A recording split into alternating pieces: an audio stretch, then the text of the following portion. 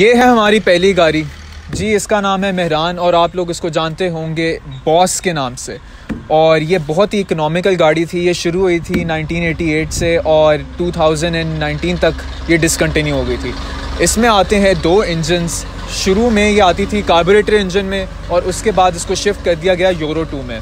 क्योंकि fuel economy वगैरह के हिसाब से इसको एक बेहतर गाड़ी बनाना था। तो ये जो गाड़ी थी ये उस ज़माने में 1990s में एक लोगों की नीड थी बेसिकली क्योंकि उस ज़माने में गाड़ियाँ बहुत कम थी और और सबसे ज़्यादा इकोनॉमिकल भी यही थी। तो ये जो गाड़ी थी इसको एक बहुत ही बेहतरीन जो था आ, गाड़ी समझी जाती थी लोगों के लिए। बेशक वो बंदा अमीर हो गरीब हो हर बंदे ने ये गाड़ी रखी हुई थी। इसकी इकोनॉमी जो थी ऑलमोस्ट कोई उस ज़माने में जो पुराना इंजन था तो इसकी थी कोई आ, आई गेस ट्वेल्थ तक थी और अब जो यूरो टू इंजन आया था, इसमें इसकी हो गई थी नाइनटीन नाइनटीन तक भी लोग इसको लेके गए हैं, वरना जो एवरेज होती थी वो ऑलमोस्ट सेवनटीन सिक्सटीन तक ही होती थी। और जो है ए वगैरह इसके कहते थे कि बस डाले हुए थे सुजुकी वालों ने, लेकिन चलते नहीं थे। और स्टेयरिंग व्हील है एट हंड्रेड सी सी गाड़ी है, और बहुत ही इकनॉमिक अब हम दूसरी गाड़ी की तरफ़ चलते हैं।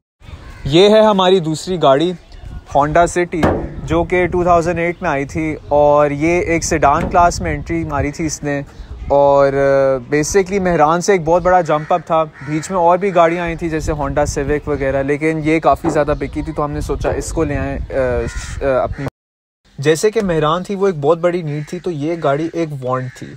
इसमें लोगों को चाहिए था कि हमें ऑटोमेटिक गेयर बॉक्स मिले पावर स्टेयरिंग मिले, एक अच्छा एयर कंडीशनिंग सिस्टम मिले और एक इंफोटेनमेंट सिस्टम भी मिले।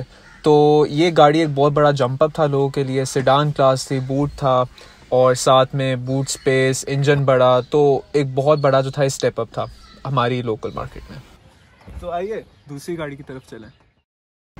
तो हमारी अगली गाड़ी है एक जापनीज़ गाड़ी जो कि बहुत इस वक्त गर्म है लेकिन आ, काफ़ी लोगों ने इस तरह की गाड़ियाँ इंपोर्ट कराई थी जापान से बिकॉज़ ये काफ़ी ज़्यादा इकनॉमिकल थी ऑटोमेटिक गेयर बॉक्स था, छोटा इंजन था और पेट्रोल की प्राइसेस जैसे जैसे बढ़ रही थी, लोगों को एक ऐसी गाड़ी चाहिए थी जो फ्यूल कंजम्पशन जिसकी बहुत कम हो। तो आप इस गाड़ी में देख सकते हैं, एक एयर कंडीशन सिस्टम है ऑटोमेटिक गेयर बॉक्स है छोटा सा इंजन है स्पीडोमीटर भी 140 तक जाता है। हॉर्स पावर तो कम है, लेकिन गाड़ी बहुत इकोनॉमिकल है कंफर्टेबल है, सब कुछ जो जो नेसेसिटीज़ हैं, जो नई नए फीचर्स थे जैसे हीटेड सीट्स हैं ऑटो डिमिंग लाइट्स हैं ये सारी की सारी इस गाड़ी में मौजूद हैं। तो चलिए दूसरी गाड़ी की तरफ़। तो हमारी अगली गाड़ी है हाई सोनाटा तो लोगों को एक लग्जरी रिक्वायरमेंट की ज़रूरत थी और ये गाड़ी जो है एक सेडान है वो इस कैटेगरी में फॉल करती है। इसमें आप देख सकते हैं कि लेस एंट्री है आप बूट खोल सकते हैं इसी के थ्रू और आप आराम से इस गाड़ी को अंदर घुस सकते हैं और इसमें जो है इवन सब कुछ है जो आपको ज़रूरत है। तो ये गाड़ी है और ये बेसिकली जैसे जैसे लोगों की नीड्स जो थी वो बदलती गई ए वगैरह तो थे गाड़ियों में लेकिन वो चाहते कि हमें एक स्पेशियस गाड़ी मिले एक स्टाइल स्टेटमेंट हो और एक एग्जीक्यूटिव क्लास गाड़ी वो चला सकें। ये गाड़ी उस कैटेगरी में फॉल करती है।